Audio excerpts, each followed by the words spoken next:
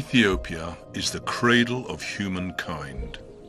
Throughout the country, traces of early civilizations stand witness to its ancient history.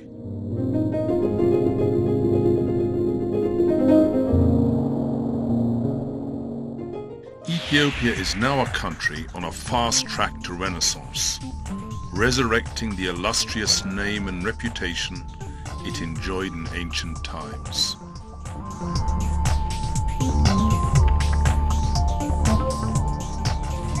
It's home to many nations and nationalities, all with their own unique cultural values. Ethiopia's linguistic, cultural and religious diversity remains a source of the country's unity.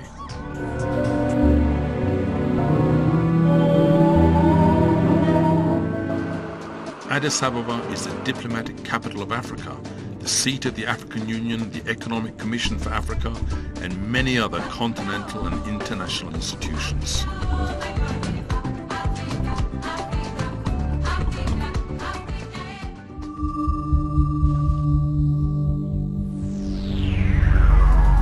Ethiopia's rich resource base offers opportunities not only to its own population, but also to other citizens of our world.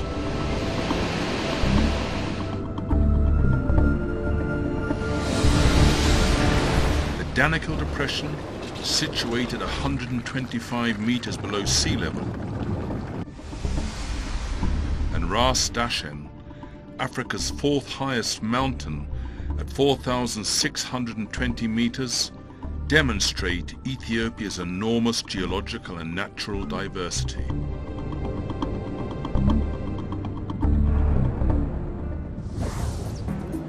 Country has 18 major agroecologies and an additional 49 ecosystems, all suitable for farming. This is one illustration of Ethiopia's huge natural resource potential still largely unexploited.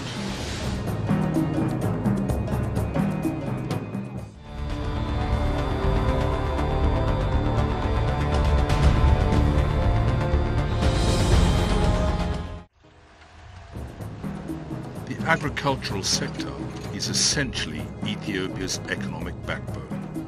Its fertile soils and diverse ecosystems allow the cultivation of a great variety of crops.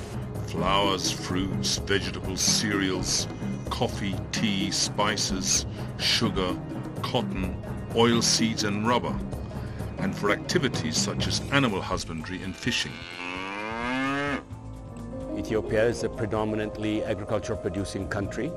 So it was not hard to look around and see what is the best opportunity to maximize return on investment and also to take advantage of the uh, proximity of Ethiopia to the global markets. This country is a land of hope and opportunity uh, because especially in the agriculture sector, its contribution to the foreign earning of the country is uh, above 85 uh, percent. Ethiopia has got a lot of development capacity in agriculture field because you have so much land which is not cultivated and you have resources also, irrigation resources also, water also. Rainwater is quite good.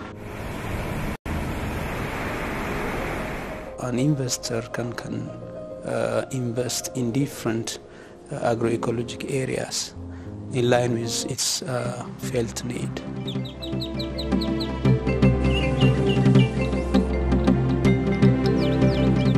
For many years, coffee has been the country's major foreign currency earner. It covers more than 600,000 hectares of land.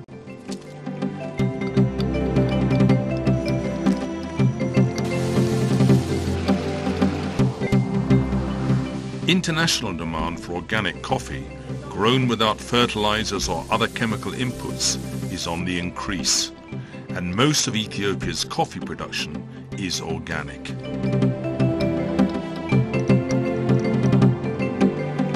As with its coffee, Ethiopia has a favorable environment for tea and spice production. Ethiopian tea is gaining a reputation internationally for quality. The opportunities for tea cultivation are attracting investors.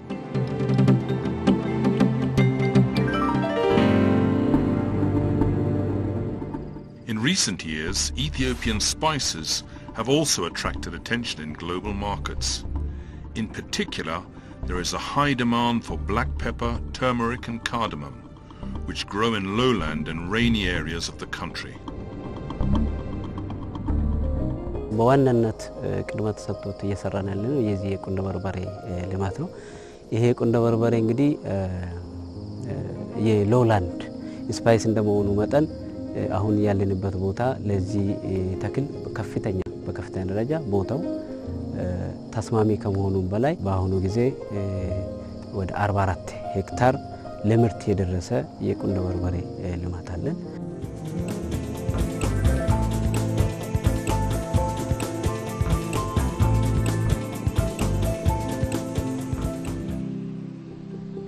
In the past, cereals and oilseeds were cultivated mainly for local consumption.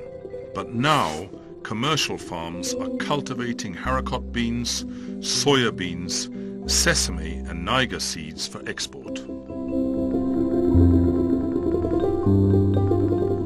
Ethiopian sesame in particular is in high demand internationally and has proved a lucrative area for investors.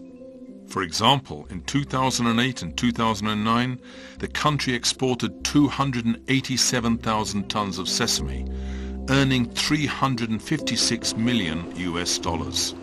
This amounted to 24% of Ethiopia's foreign currency earnings for that period. The company or the investor he has uh, chosen this place because the main production here is sesame seed. It can mainly go up to the end of the season. It is very attractive. It is good. እንደምታዩት ሰሊጥ እናመርታለን። አለፍ ብለንም የአገዳ እህሎች እናመርታለን። አኩሪ አተሮች ጥሩ ፕሮቲን ያላቸው ምርቶችንም በዛው እያመረትን ነው የምንገኘው።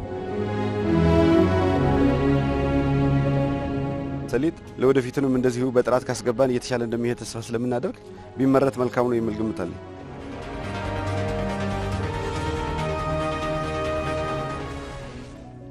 Currently, there is growing interest in rice cultivation and soybean development in different regions of the country.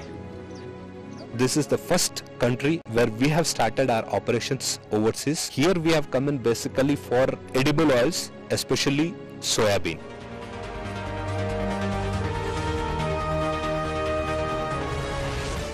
So far we have developed uh, about 12 million hectare of land, but the uh, potential arable land is uh, nearly 70 million hectare. So one can imagine the huge potential in terms of arable land that the country has. To this end, we have already identified nearly 3 million hectare of land uh, and prepared it for uh, potential foreign and local investors.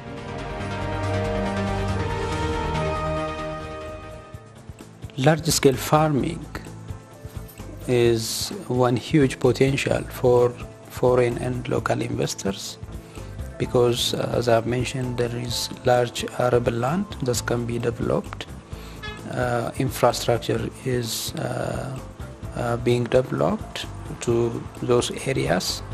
Uh, this will uh, make easier the access of these lowland areas and there is an enabling situation to develop those lands currently.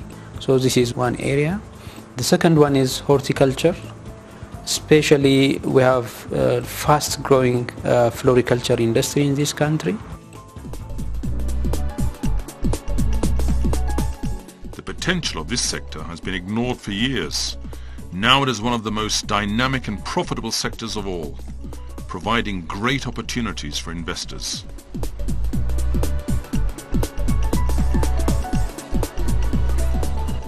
For investors from Europe, the Middle East and the Far East, Ethiopia has become the destination of choice when it comes to growing flowers, vegetables and fruits.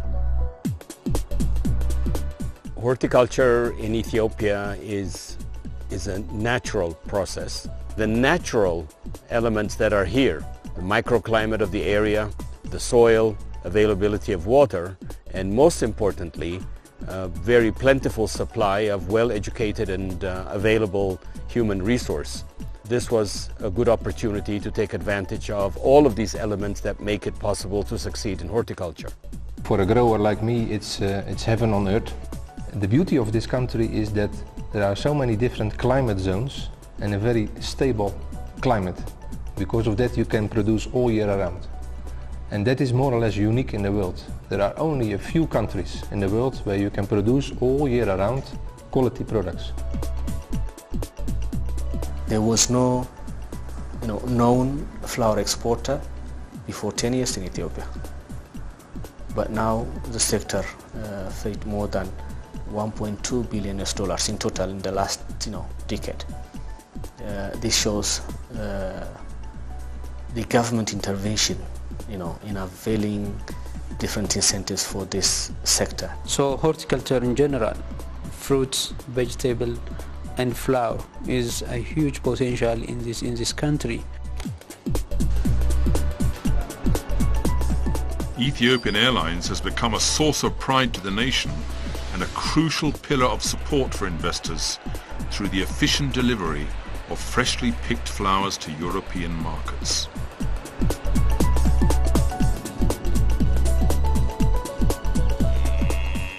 Ethiopia is the richest country in Africa when it comes to livestock resources, though still has a long way to go in terms of fully harnessing its potential in this area.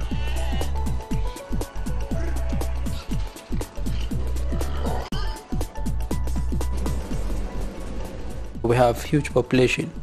We always say we are first in, in Africa, but uh, this sector is not well developed. So this is by itself a potential for both local and foreign investors to invest in livestock.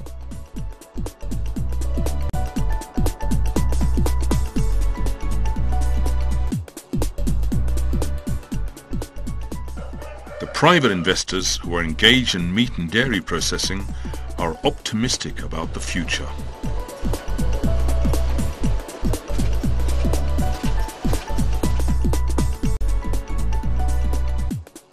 ገበያችን እስካሁን ጥሩ ነው።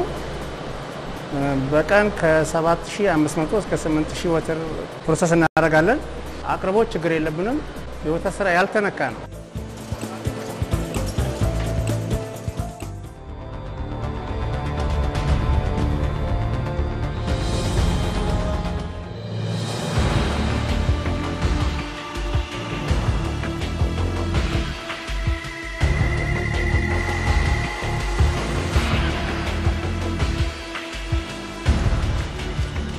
share of the manufacturing sector in the country's economy is on the increase.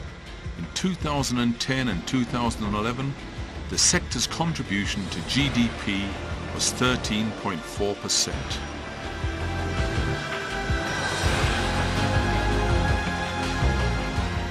The agro-processing sector has not been progressing in a manner that adds value.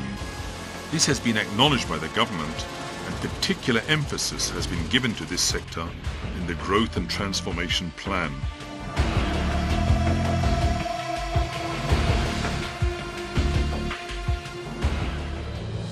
In an effort to transform the country's economy from agriculture-led to industry-led, the government has given particular attention to sectors such as textiles and garments, leather and leather products, metals and associated industries and cement production.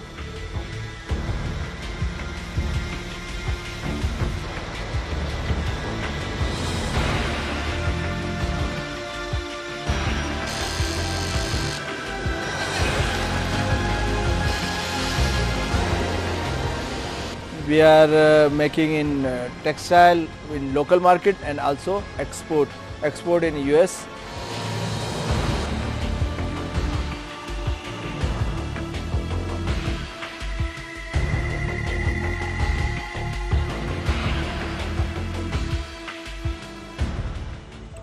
ይህ ፋብሪካ 12 ዓመት በጨርቃ ጨርቅ ስራ ላይ ሲሰራ ምንም አይነት የተበላሸ ሬከርድ ባለመኖሩ ግሪን ተብሎ እቃችን ሲወጣና ሲገባ ሳይፈተሽ ነው የሚገባውም የሚወጣውም።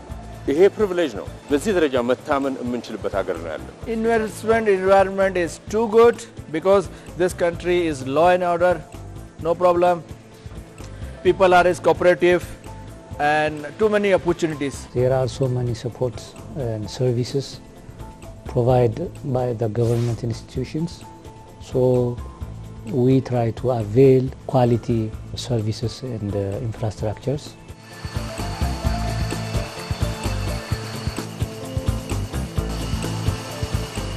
We've already invested $50 million and we are in the process of investing much more to expand the capacity and therefore expand our footprint in Ethiopia. The investment climate in Ethiopia is very attractive. Uh, if you look at a number of uh, macroeconomic indicators, whether it's the population of Ethiopia being second largest country in Africa. Uh, as I speak now, there are around 21 million uh, people going to primary and secondary school. That's the future for this country. And a very cheap rate for uh, these companies. It makes them by far competitive. You know, middle class is growing. Um, you know, wealth creation is uh, improving year on year. Uh, added to that is the whole infrastructural development of the government, whether it's in terms of housing, infrastructure. I think all that creates a huge uh, opportunity for foreign investors like ourselves. Uh, sugarcane project is a good project and uh, there is good opportunity here in uh, Ethiopia. So that way there is good profit margin here. Since this country is more peaceful, so working here is more peaceful. That's a very important thing for an investor because they are going to invest their money.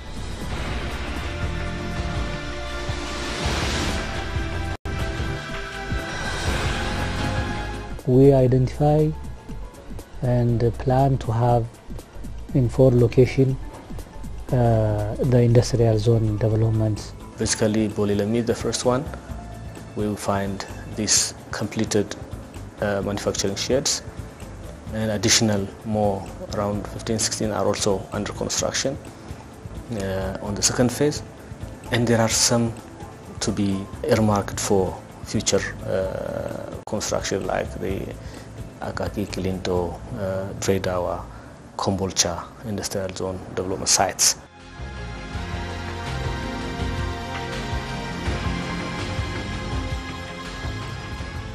This by itself shows uh, the commitment of the government uh, to make you know investment uh, smooth in this country. These industrial zones have got major facilities like access road, electricity, telephone lines, um, storage and the like, including office spaces for the would-be investors.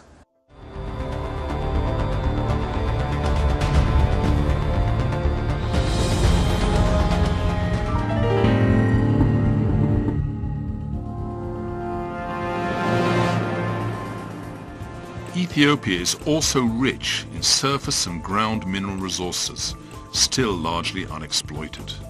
Geological surveys indicate that there are huge reserves of gold, tantalum, platinum, nickel, iron ore, potash and other valuable minerals.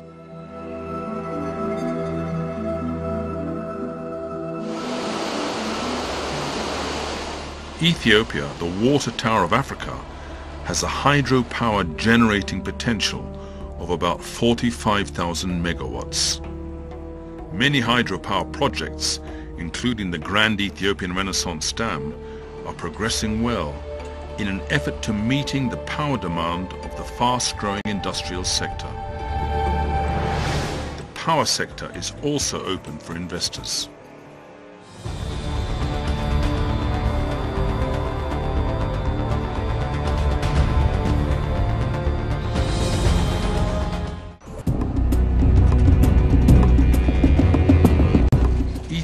is undergoing a construction revolution.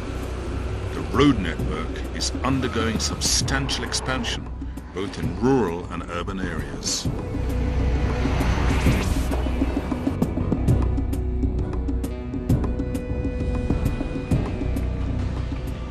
Railway construction is also given emphasis in the Growth and Transformation Plan, as it plays a crucial role in accelerating the country's economic growth. In addition to the railway connecting Ethiopia with Djibouti, other railway lines stretching for over 2,400 kilometers in different parts of the country are already in the pipeline.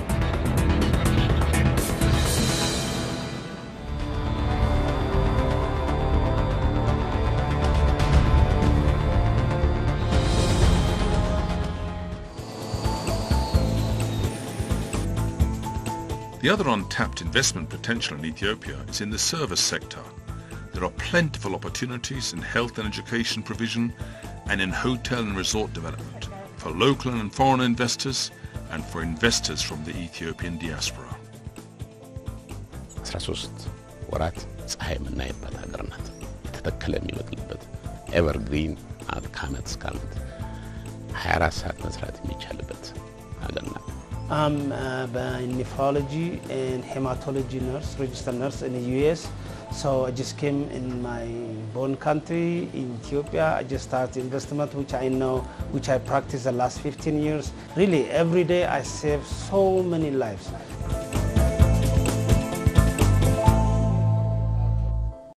For investors and tourists alike, Ethiopia offers enormous variety.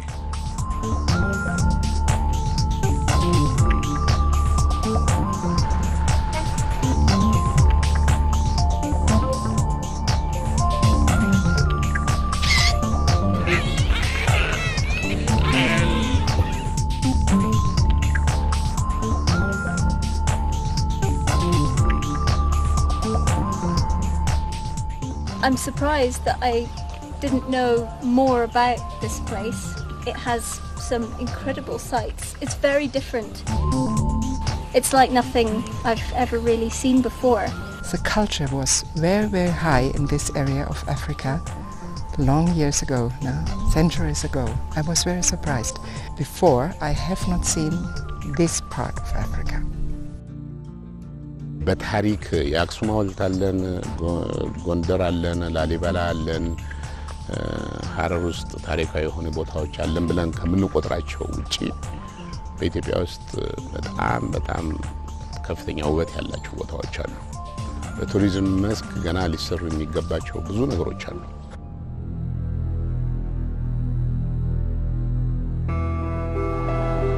It recently gained an additional UNESCO World Heritage Award, its 10th.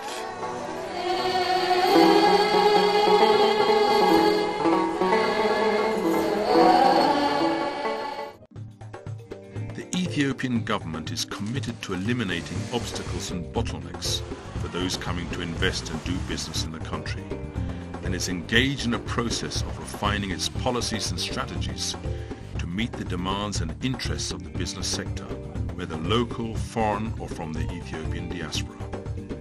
I say perfect and very good. Everything they settled and they try to assist us. That's why it is very easy to come in here to invest what I say.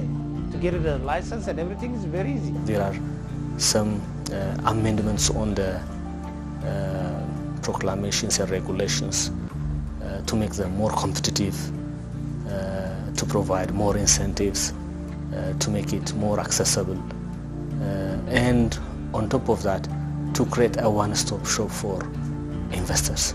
So we are now serving as the main source of FDI, actual inflow record.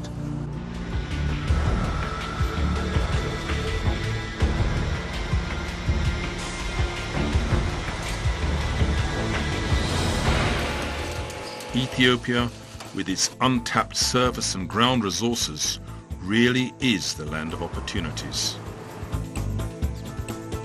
Whatever brings you to Ethiopia, whether business or tourism, the warm welcome afforded by its hospitable people will make your stay a memorable one. Have a wonderful journey to Ethiopia.